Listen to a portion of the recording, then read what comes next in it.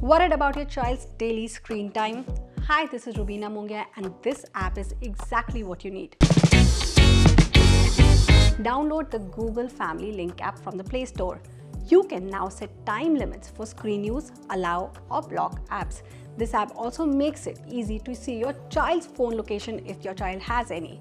Now the app requires a children's account for Gmail and will prompt you to make one if you don't have one already. Do let me know if this app helped you in the comment section below.